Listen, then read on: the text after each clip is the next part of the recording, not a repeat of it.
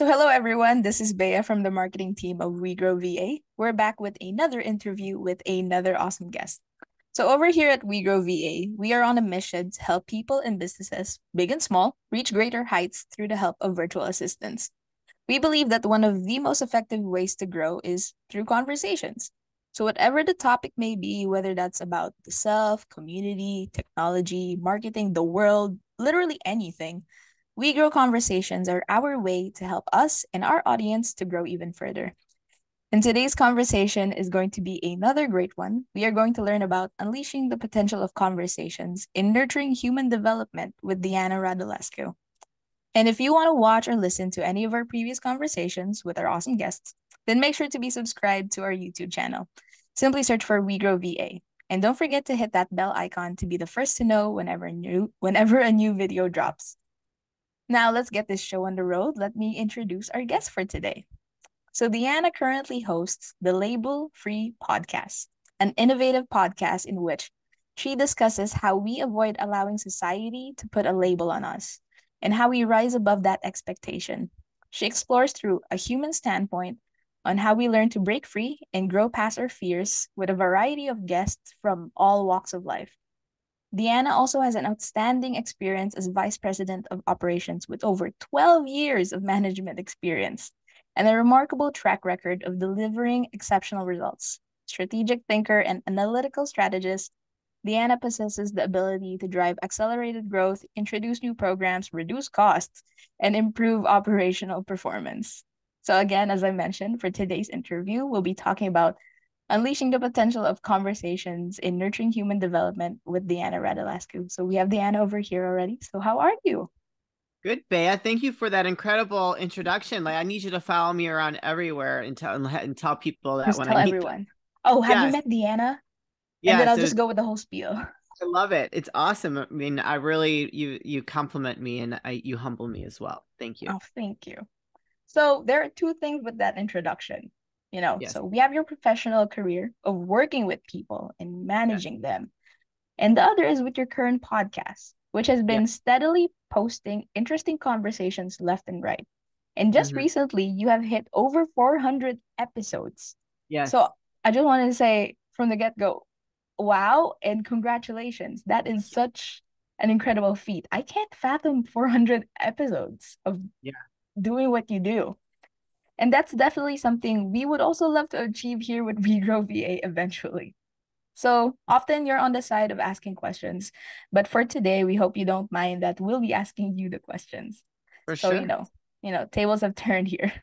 So the, the first question I wanted to ask you was, can you share with us a favorite conversation or podcast of yours that really taught you something new, like something that really blew your mind?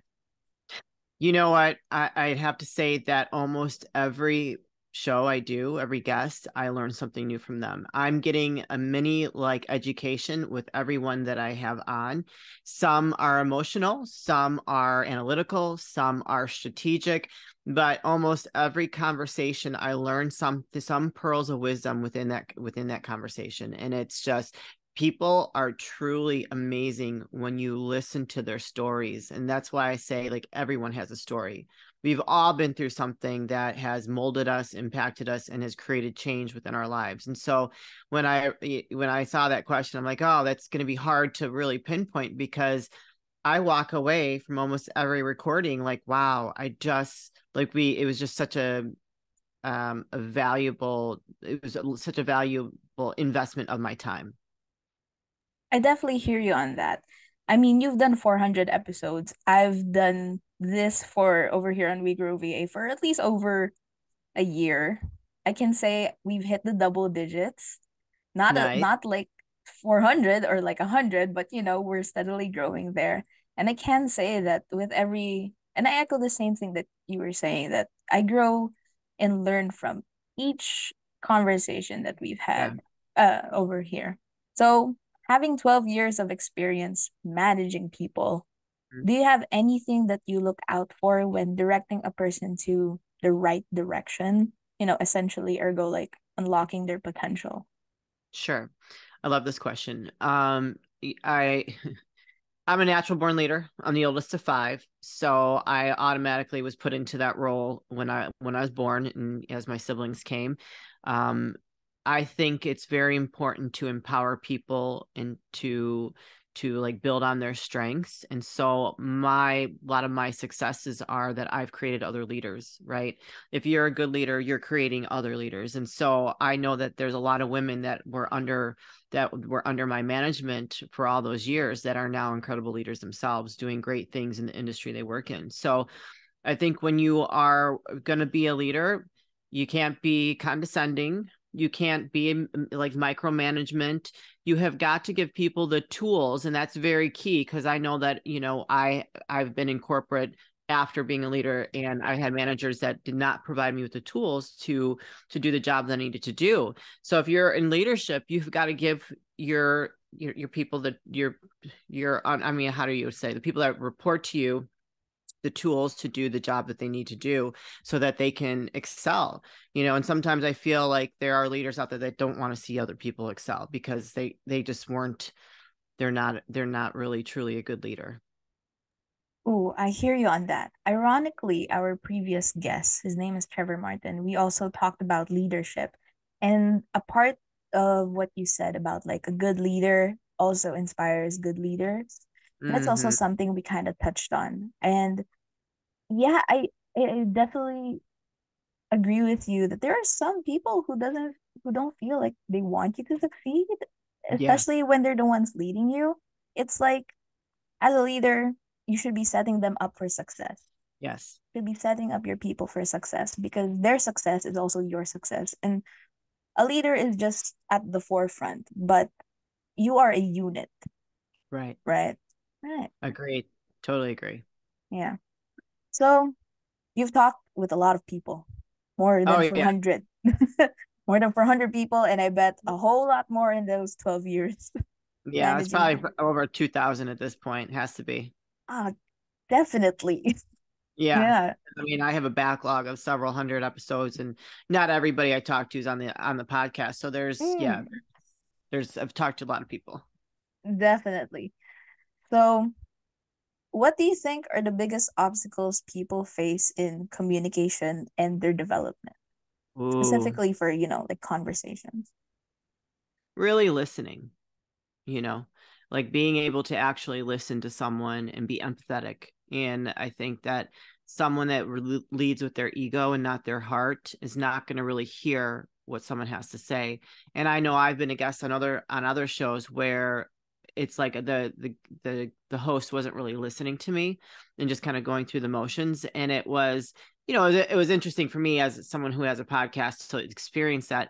I make sure that i show up fully dialed in to listen to my guests and just to honor them with listening and being able to hear them and say you know if i'm confused about something well i heard you say you know and kind of repeat back what my understanding was. And i think that really allows someone to feel valued you know what i mean and you know communication everybody has a different style of communication but listening really being dialed into that to that person when you're having that conversation is so super important and making that connection right? We have to connect and if we're not connecting and being authentic it's just not like it doesn't it doesn't seem very valuable for anybody to listen to it. I mean who's gonna who's gonna want to listen if you're not being authentic? Oh that is so true. And again, it's very ironic that you mentioned listening because again, that has kind of been a running theme, I guess, for us over here in We Grow VA the past month. It's really just a Mm, lot about listening.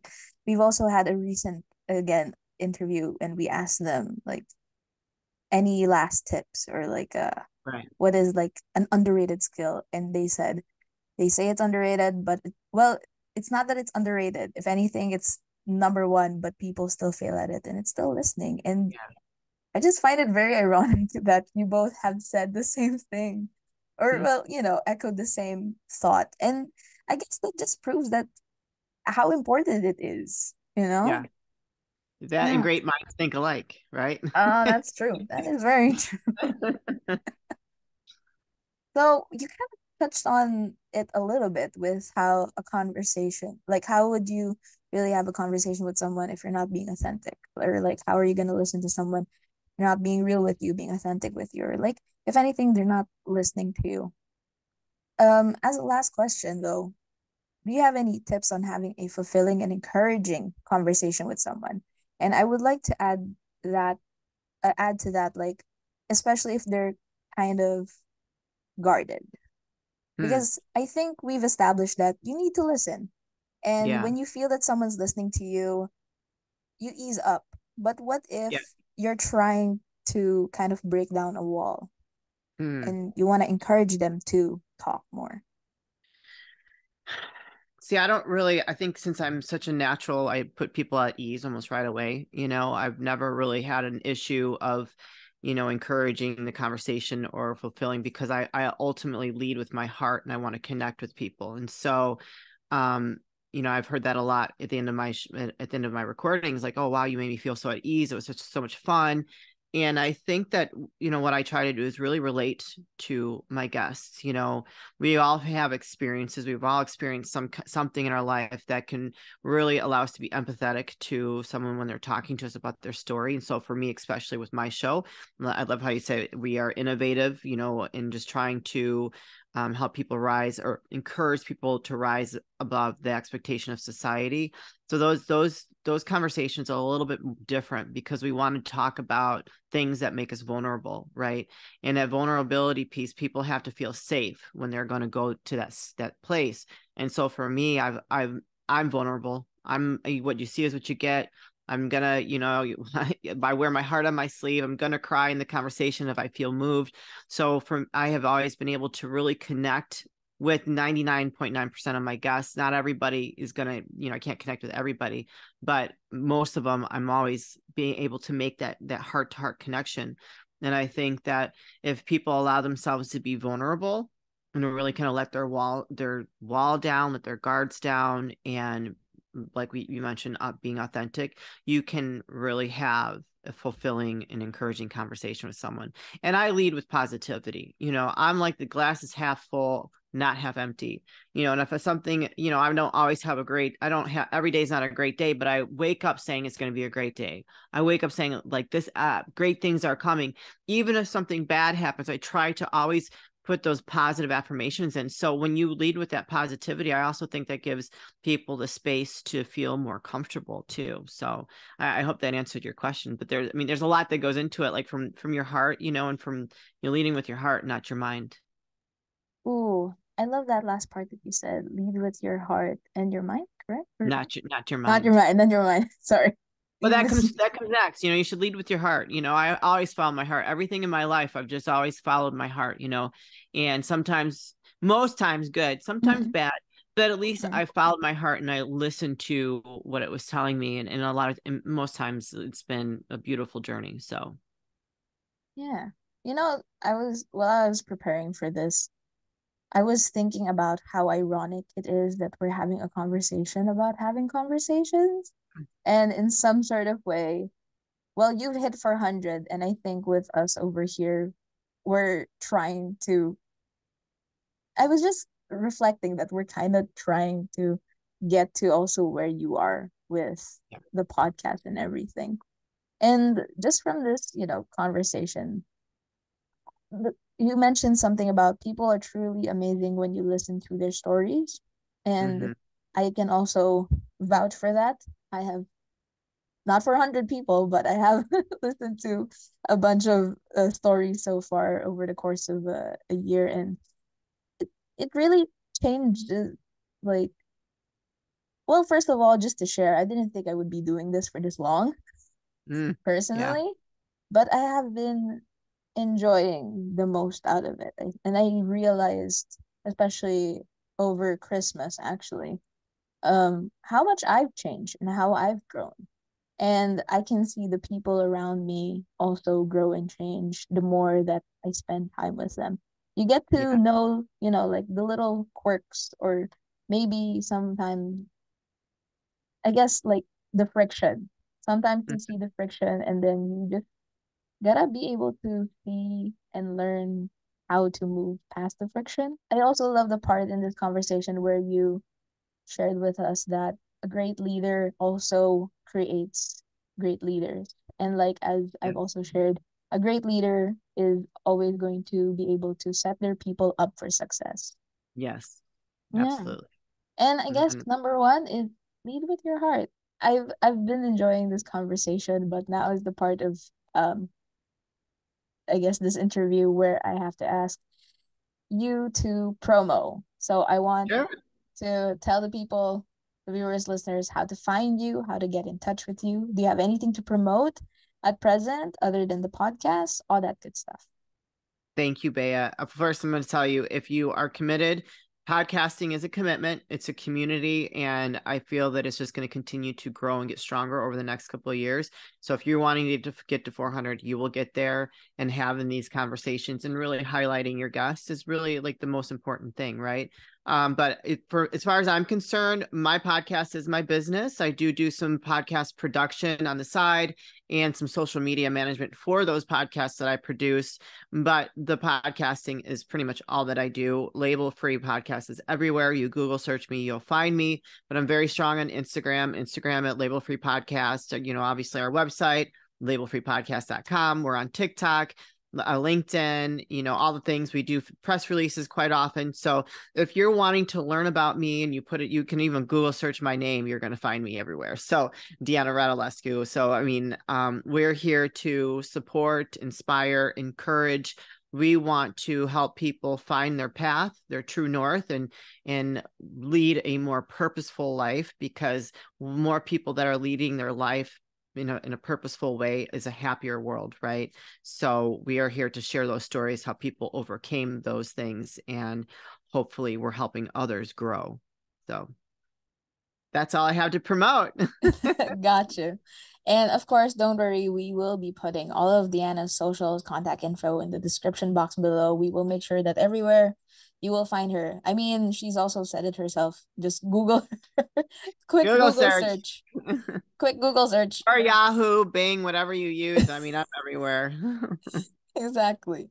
So, and don't forget if you're a business owner that is in need of growing your business to achieve entrepreneurial excellence by hiring a virtual assistant, or maybe you're just curious to know more about what we can offer, then make sure to get in touch with us, We Grow VA. You can head over to our website, wegrowva.com, to schedule a call. And don't forget to follow We Grow VA over on all of our social media to be updated on the latest ins and outs on anything and everything. All our links will be posted everywhere, essentially. So thank you once again to Deanna and everyone who stayed tuned until the end. And I'll see you guys in the next one. Bye.